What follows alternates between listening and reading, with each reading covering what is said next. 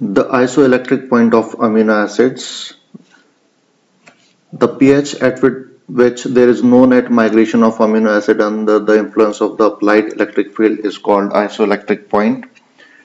In this video lecture we will discuss about the uh, what is isoelectric point of amino acids and what is the migration of these amino acid when they are present uh, in some specific pH तो पिछले lecture में हमने discuss किया था कि what is the effect of pH on the structure of amino acid वहाँ हमने देखा था कि जो पीएच है that is very much important responsible for the determine the structure of amino acid अगर पीएच स्ट्रॉन्ग एसिडिक है then we found that amino acids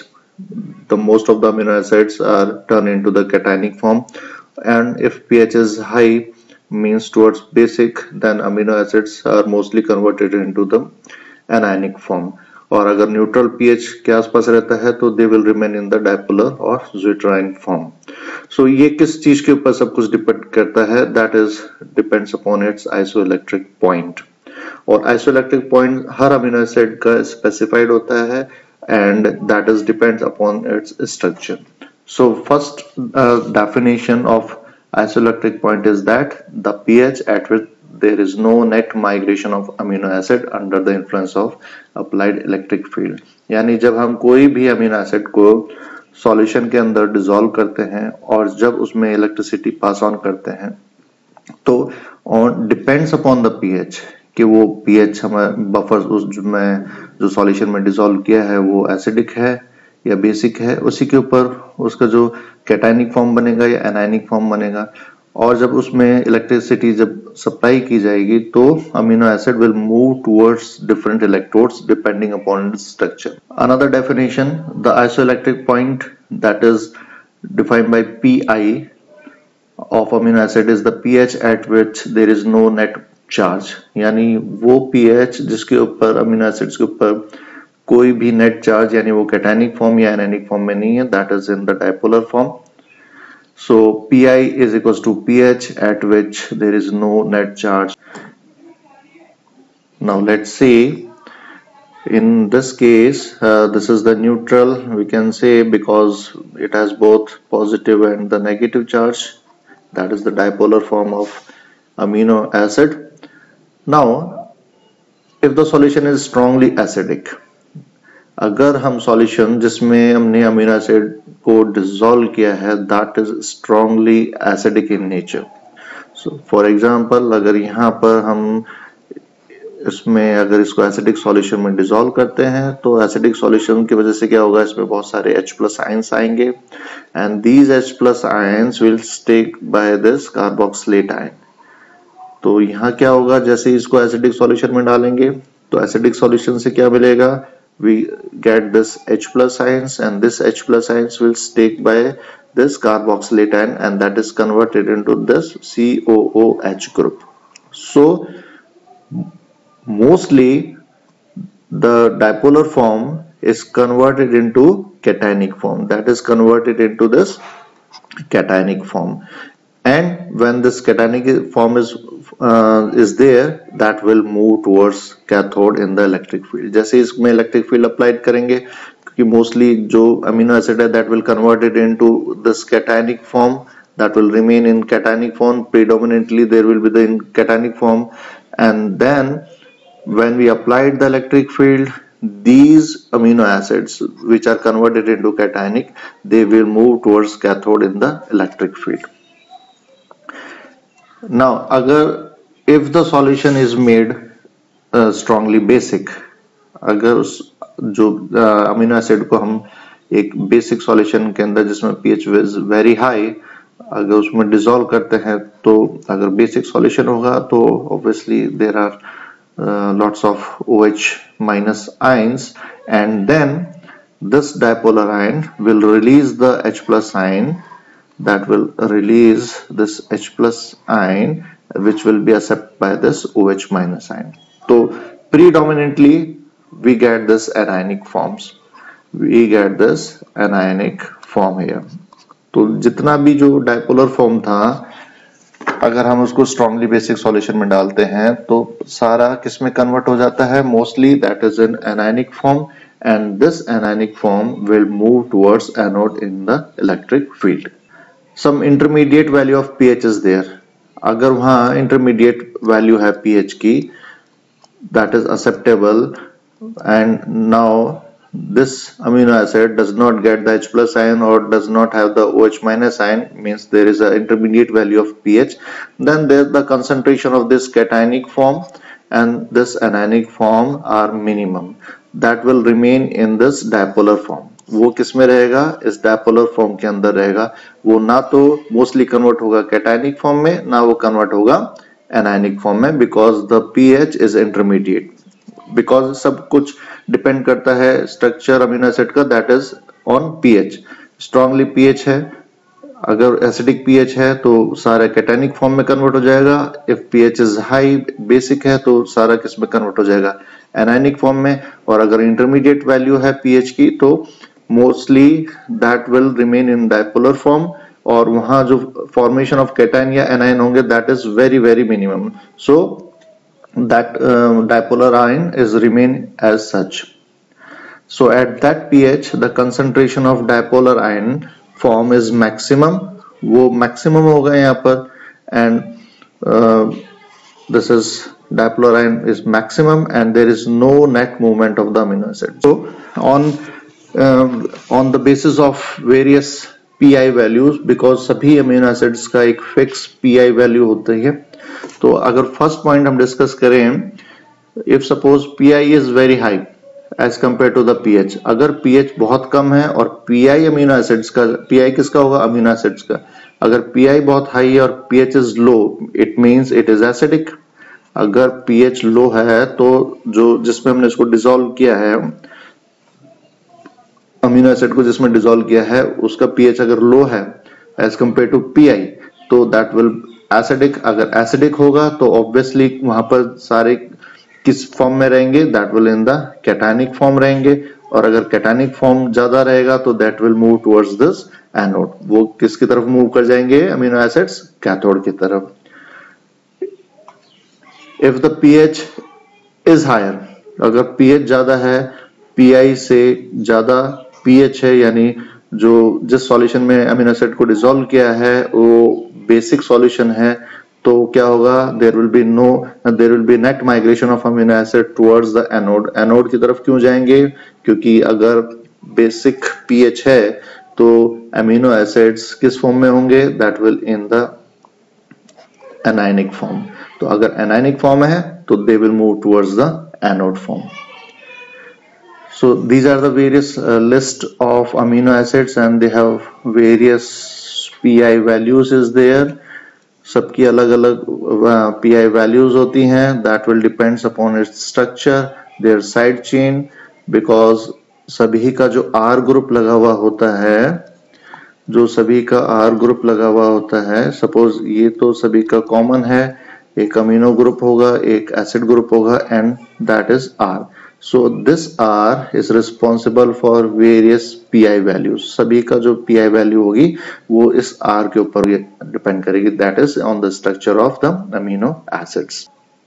the isoelectric point of amino acids depends upon its structure and hence each amino acids have characteristic isoelectric point सभी amino acids के different P points होंगे that will depends upon its structure वो सभी depend करेंगे इसके structures के ऊपर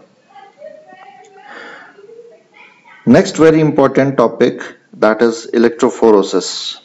and what is this electrophoresis it is a technique of separation and purification of a compounds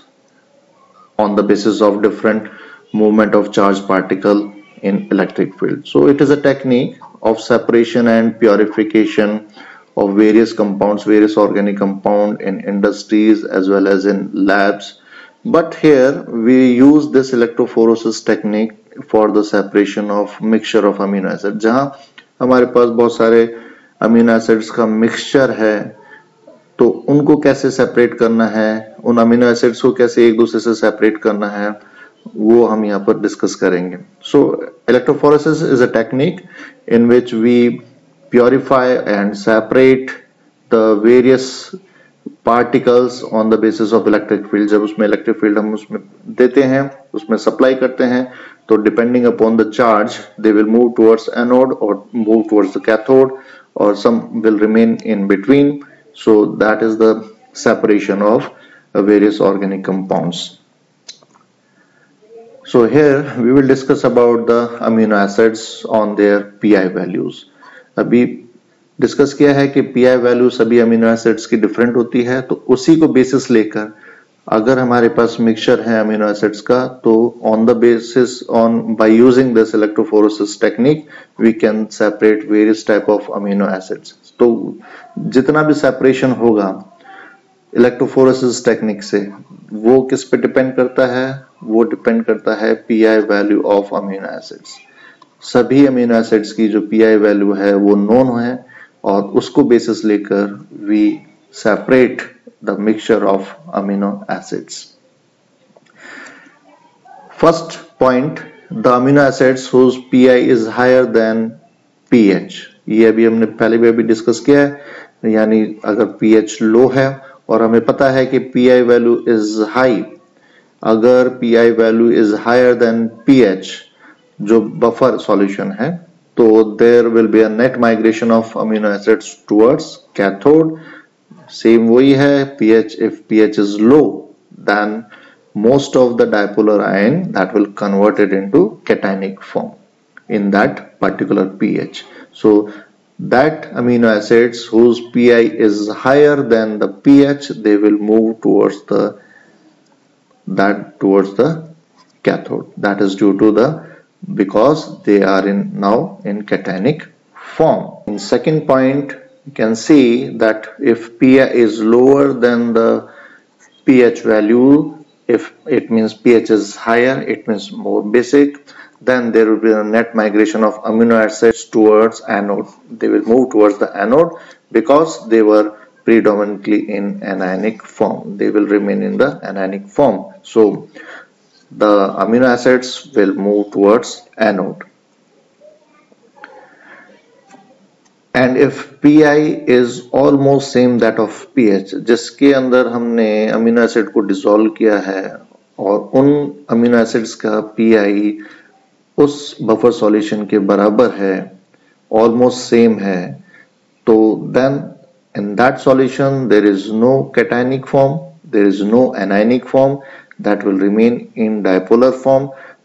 If it is remain in dipolar form it does not migrate towards cathode or towards anode. So there is no net migration from the origin because they have no net charge. So that will remain in the between of the two electrodes. The technique of electrophoresis this is the simple diagram of a technique of electrophoresis यहाँ पर these are the two containers in which the buffer is filled एक paper strip ली जाती है that is made of mostly plastic और cellulose acetate उसको हम use करते हैं to give the solid support to that mixture of amino acids so suppose we are taking this strip of amino acid and we have a mixture of three amino acids. Suppose this is the this dot this dot represent the mixture of three amino acids. We are using arginine aspartate and alanine as the uh, mixture of amino acid and we are using the uh, we are doing the electrophoresis at pH 5 so the solution that uh, filled in these two electrodes having the pH 5 तो क्या होता है? Suppose we have this cellulose acetate की strip है paper की strip है, उसके बीचों बीच जो पिक्चर है तीन अमीनो एसिड्स का, उसका एक स्पॉट लेते हैं और इस पूरी स्ट्रिप को इसमें वेट करते हैं and then it is fix like this तो दो एंड जो है, वो दोनों अलग अलग इलेक्ट्रोड्स के अंदर डिप करते हैं और in by capillary action this buffer solution is pass into this paper strip और cellulose acetate strip and when we pass the current जब इसमें जैसे ही इसमें पास करंट करते हैं तो depending upon the P H values and depending upon the P I value there will be a net migration of the amino acids from this mixture ये जो spot है यहाँ से जो amino acids का mixture है they will start moving towards their respective electrodes so if we see then after some time the amino acids will move towards their particular anodes uh, particular electrodes that will depends upon the pi value So in this case uh, this sky blue dot that is uh, represent the aspartate pH is 2.98 and we have the pH 5 so what happened यहाँ जो PI है that is less than pH so यहाँ पर क्या है pH is more and PI is less so it will move towards the anode क्योंकि सारा किसमें कन्वर्ट हो जाएगा into anionic form इसमें एनाइनिक फॉर्म में कन्वर्ट होते ये किधर मूव कर जाएगा? That will move towards anode that will move towards anode and second one that is arginine this is arginine pi value is 10.76 so pi is less uh, more than the ph so जितना भी arginine होगा, उसमें that will convert into cationic form and then it will move towards the cathode to the cathode electrodes because यहाँ कितने यहाँ क्या होंगे? यहाँ सारे कैटाइनिक फॉर्म ज़्यादा हो जाएँगे और यहाँ पर क्या होगा? यहाँ पर anionic form that are more in nature and last one जो बीच में रह गया है that is alanine which has P I almost that of the P H of five तो it has almost same corresponding to the P I यहाँ हम मान सकते हैं कि जो पी आई वैल्यू है is almost that of pH. So if it is same then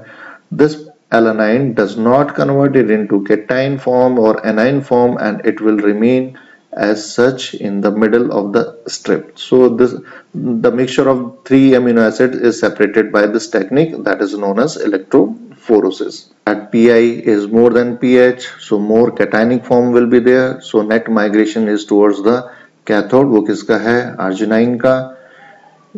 If pi is less than ph then more anionic form So net movement uh, migration is towards anode that is aspartate as, as amino acid.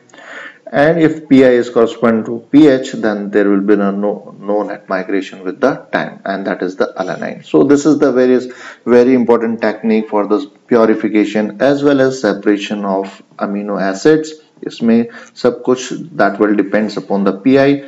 अगर हमारे को पता है कि हमारे पास इतने amino acids का mixture है और सभी की पीआई वैल्यू नोन होती है, उसी के अकॉर्डिंग बफर सॉल्यूशन तैयार किया जाता है, उसका पीएच लिया जाता है। And then that is put on the on the paper strip and after passing the electricity after some time the amino acids move towards their various points sometimes uh, ये अगर स्ट्रिप के ऊपर colour नहीं पता चलता नहीं दिखता है तो उस पर एक स्प्रे किया जाता है that is of ninhydrin that spray is of ninhydrin निन हाइड्रीन का स्प्रे किया जाता है और जैसे इसको स्प्रे करते हैं तो कलर्स उस पर स्ट्रिप के ऊपर अलग अलग कलर्स दिख जाते हैं and that show the migration of the various amino acids